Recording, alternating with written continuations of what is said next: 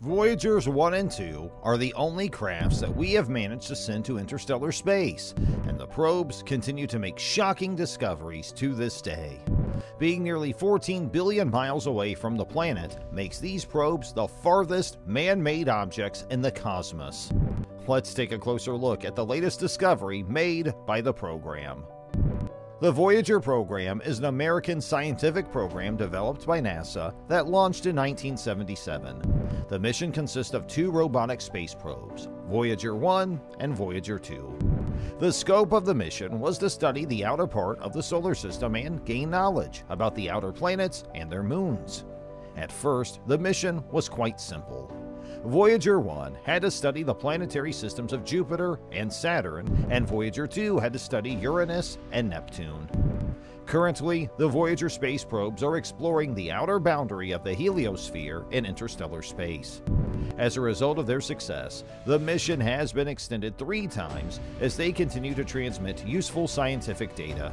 It was confirmed that on August 25, 2012, Voyager 1 had become the first man made object to exit the solar system and enter interstellar space.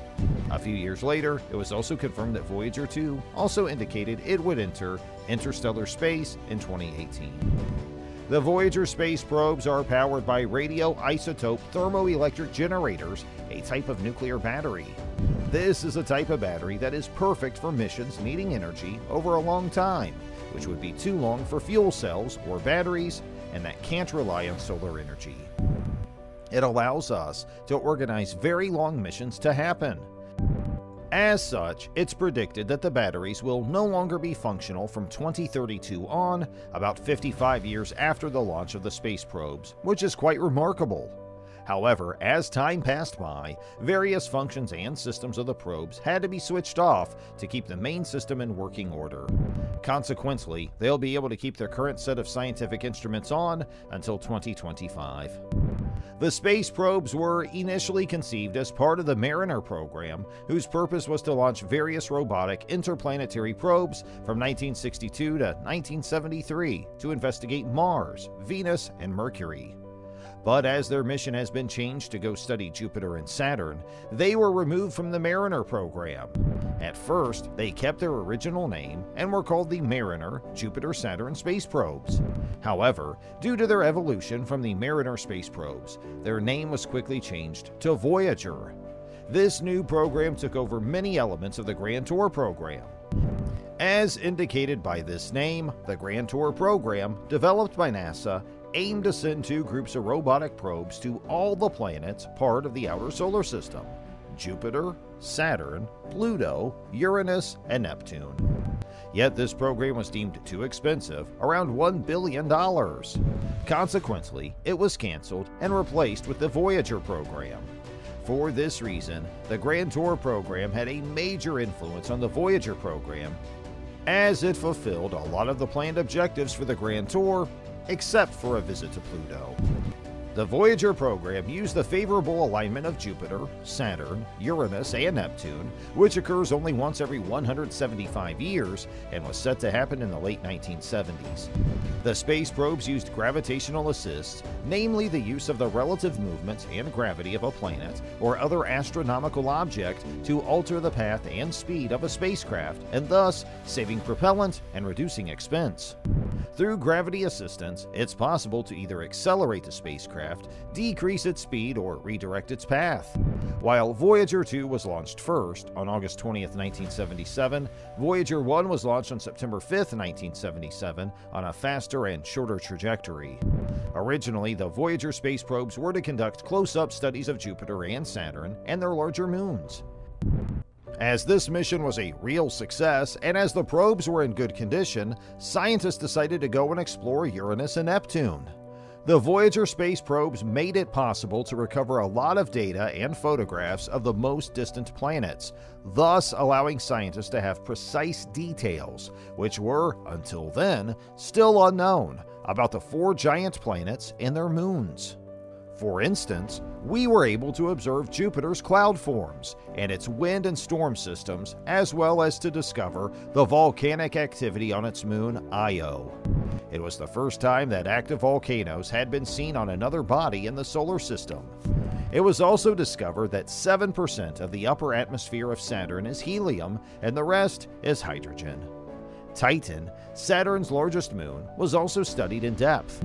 Among the major discoveries was the discovery of a magnetic field around Uranus and 10 of its moons, but also the discovery of three rings and six unknown moons of Neptune. Furthermore, Voyagers 1 and 2 sent us a lot of close up photos of the giant planets.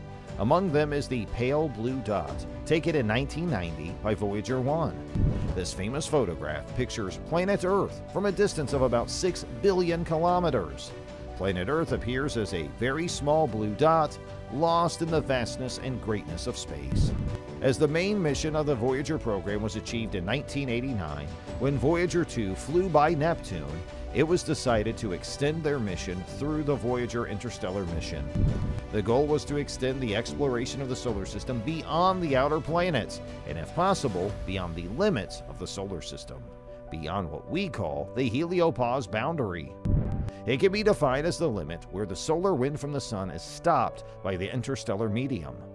Reaching after the heliopause will allow the space probes to make measurements of the interstellar fields, particles, and waves that are unaffected by the solar wind, and thus providing scientists with invaluable data. As of today, the probes continue to send important data back to Earth. Currently, they mainly study ultraviolet sources among the stars, and they explore the boundary between the Sun's influence and interstellar space. Four years ago, the Voyager 2 probe became just the second human made object in history to exit the solar system and officially enter interstellar space. On November 5, 2018, the craft officially left the solar system as it crossed the heliopause, the boundary that marks the end of the heliosphere and the beginning of interstellar space. This area is the outermost region of the solar system, sometimes referred to as the bubble, and is located around 119 astronomical units from the Sun. The spacecraft was able to analyze the makeup of solar winds, the composition and behavior of plasma particles, the interaction of cosmic rays, the structure and direction of magnetic fields, and other traits that define the edges of the solar system. This allowed the craft to make some shocking discoveries about the edge of our solar system. Voyager 2's exit from the interstellar bubble was not without surprises. According to the data, the bubble was found to be very leaky, this is because the material from the solar bubble was discovered in interstellar space. Voyager 1 had found signs of a leaky bubble as well. In that instance, however, interstellar material was found streaming into the bubble. This is the opposite of what Voyager 2 discovered. The new findings confirm that the leakiness of the heliopause, spotted in two very different parts of the heliosphere, is not a rare characteristic of the bubble, although there is still no real explanation for what's causing it. Before the Voyager missions, scientists predicted that the solar bubble just sort of dissolved into interstellar space as you ventured farther and farther from the Sun. Data from Voyager 2 seems to confirm this fact the craft's plasma wave instrument ended up measuring plasma densities that were very much on par with what Voyager 1 detected. Because solar plasma is so hot and interstellar plasma is incredibly cold, the density of plasma jumps up by a factor between 20 and 50 as you cross the border. Scientists note that this characteristic of fluids forms very sharp boundaries. They were especially surprised that both Voyagers crossed the heliopause at the same relative distances. Previous models heavily predicted that heightened solar activity during Voyager 1's crossing in 2012 should have pushed the bubble's boundary farther out. A period of low solar activity should have pulled the heliopause back a bit during Voyager 2's crossing, which came later. The fact that both spacecraft left the solar system at pretty much the same distance, at two very different locations, is a source of confusion at the moment. Voyager 2 also made some observations that don't square up with a sharp boundary, at least not what we'd expect. The biggest of these is the magnetic field measurements inside and outside the bubble. Astronomers expected the direction of the magnetic field would be very different between the two. Yet, when Voyager 2 crossed this thin surface, there was essentially no change in the direction of the field. This is something Voyager 1 observed as well. At the same time, the magnetic field observations on Voyager 2 suggest it found a thinner and simpler heliopause, filled with less energetic particles than what Voyager 1 crossed. Again, all this data taken together raises more questions than it can answer. It is well known that the Sun consistently spews out shock waves of plasma called coronal mass ejections, which helps shape the rest of the solar system. Turns out, the sun's impact goes beyond its own borders. The new Voyager 2 data, like the Voyager 1 data before it, shows how CMEs propagate past the heliopause and lower the number of cosmic rays beyond the bubble. This is somewhat similar to what you might find out in the galaxy. Supernovae send shockwaves out into the galaxy as well, stirring the interstellar medium, albeit at a much more intense scale than CMEs. Most astronomers believe that the formation of the solar system was triggered by an interstellar shockwave from a supernova. If we think about the potential for cosmic rays to promote biological mutations in life on Earth, these findings lend support to the idea that the Sun could also influence the evolution of living things on extraterrestrial worlds, in this planetary system and elsewhere. Both Voyagers have operated far longer than mission planners expected and are the only spacecraft to collect data in interstellar space. Each spacecraft produces about 4 fewer watts of electrical power a year, limiting the number of systems the craft can run.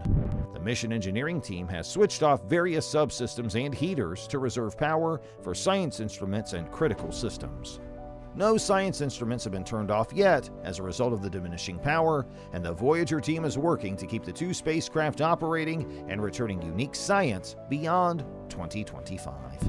If you like this video, you may also like this one, which talks about NASA's detection of an advanced alien object entering the atmosphere. Do you think the Voyager mission will continue beyond 2025?